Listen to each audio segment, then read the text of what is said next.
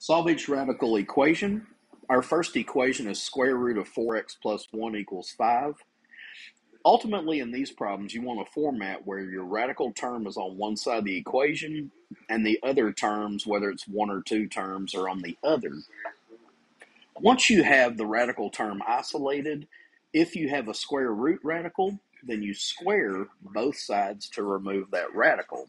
You have to square both sides to make sure that each side of the equation stays balanced, but squaring will remove a square root radical. The square root and square cancel, leaving you with 4x plus 1 equals 5 squared, which is 25. Subtract 1, you get 24. Divide by 4, and you get 6. Checking your answer, 4 times 6 is 24, plus 1 is 25. Square root of 25 is 5. So that checks out.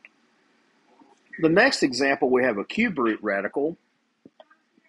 Uh, it is not isolated yet, so let's add 3 to both sides. That will isolate the radical term. To remove a cube root radical, you cube both sides of the equation.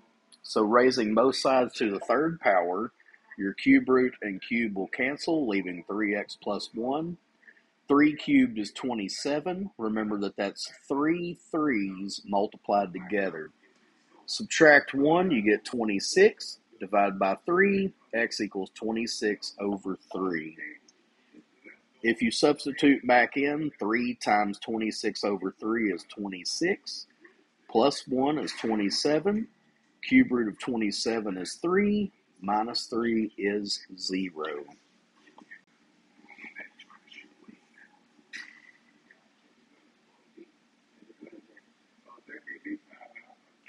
Sorry, it's taking me a little bit to zoom out.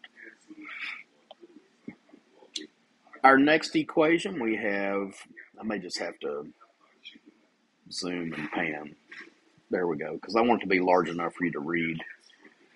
2x equals square root of negative 5x plus 24 minus 3.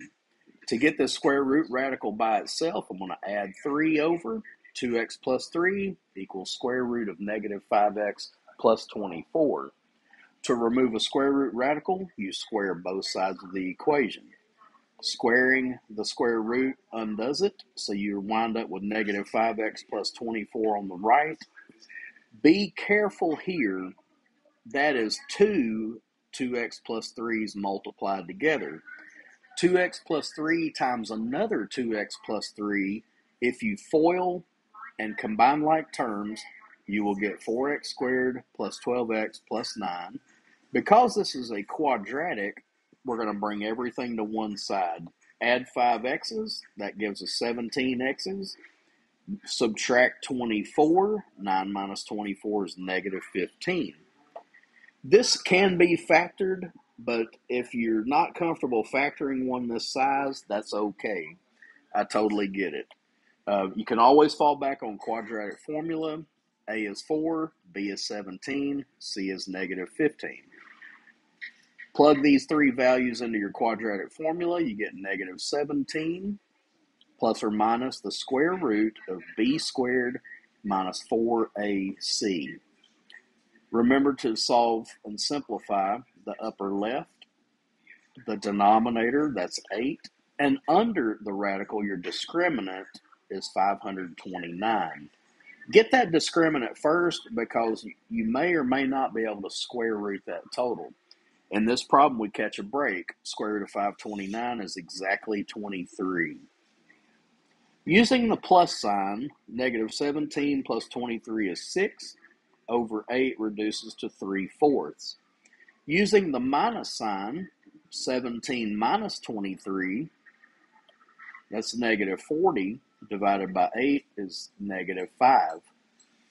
When you check this in the original problem, plug in your two answers in for x, one at a time though.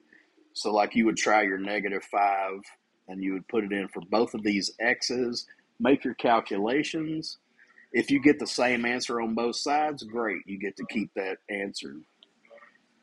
It turns out that when you substitute in 3 fourths in the original problem, you do get matching sides. This answer works.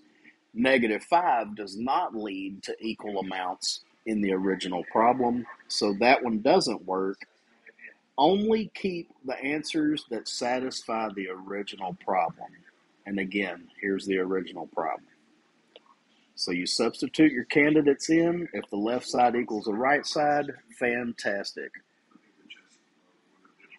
If it doesn't, it's no big deal. You just don't get to claim that answer. Our last example, we have square root of x plus square root of x minus 27 equals 2. This problem has two radicals in it, so I'm going to isolate the more complicated one. So let's subtract a square root of x.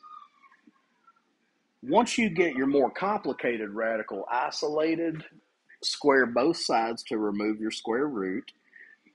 That's going to leave an x minus 27 on the left side. 2 minus square root of x, when it's squared, that's two of them, and we have to multiply out. So we have 4 minus 2 square root of x minus 2 square root of x plus square root of x squared. That leaves us with 4 these are like terms. There's a total of negative 4 square root of x. And then this last term is just x. Square root and square, they battle it out and it makes x. Subtracting an x from both sides of the equation, those cancel.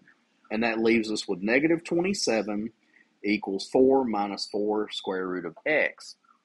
Subtract 4 from both sides. We have negative 31 equals negative 4 square root of x. Divide both sides by negative 4, and that gives us 31 over 4 equals square root of x. And then to just get x, we're going to square both sides. 31 over 4 squares out to 961 over 16. So that's our candidate. Remember that you don't always get to keep your answers. With square root equations, you have to check them. So in the original problem, I came over here to the side and I substituted in 961 over 16 in place of x. So we have square root of 961 over 16, which is 31 over 34. 961 over 16 minus 27, that's 529 over 16 that has a perfect square root of 23 over 4. Now, see, this is all supposed to equal 2 by the end of it, but at this point, when we add, we have 54 over the common denominator of 4, which is 27 over 2. That's 13 and a half. That is not 2. Since the number we checked from the end of our problem doesn't work in the original problem, that's the only candidate we had, but because it doesn't check, there's no solution to this equation. And that sometimes is a real heartbreaker because you put all this blood and sweat into working a math problem, and the answer you get at the end you don't get to keep.